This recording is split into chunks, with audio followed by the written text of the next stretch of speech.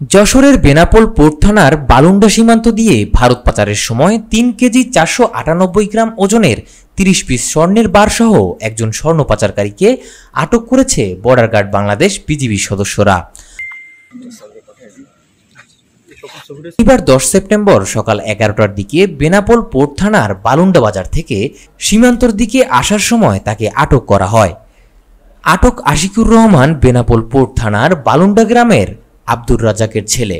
খুলনা একুশ বিজিবি ব্যাটালিয়নের অধিনায়ক, lieutenant colonel Tanvir Ahmed PSC জানান, বেনাপোল পোর্ট থানার বালুন্ডা সীমান্ত দিয়ে স্বর্ণের একটি বড় চালান পাচার হয়ে ভারতে যাচ্ছে। বিজিবির গোয়েন্দা বিএসবির গোপন তথ্যের ভিত্তিতে একুশ বিজিবি ব্যাটালিয়ন অধিনায়ক তানবির রহমান পিএসসি বিশেষ একটি দল নিয়ে বালুন্ডা বাজার এলাকায় অভিযান চালিয়ে স্বর্ণ পাচারকারী আশিকুর রহমানকে আটক করে।